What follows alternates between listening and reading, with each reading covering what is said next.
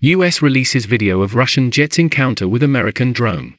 The US military on Thursday released video of what it says is a Russian fighter jet clipping a US surveillance drone over the Black Sea. This week, an incident that has fueled concern about the United States becoming further drawn into the war in Ukraine, and led to a series of recriminations in Washington and Moscow.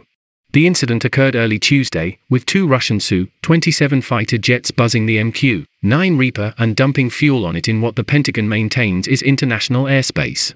Russian officials have denied that either fighter hit the aircraft, saying instead that, after it was observed having breached a self-declared exclusion zone, the drone made sharp maneuvers and entered uncontrolled flight, before losing altitude and crashing into the sea.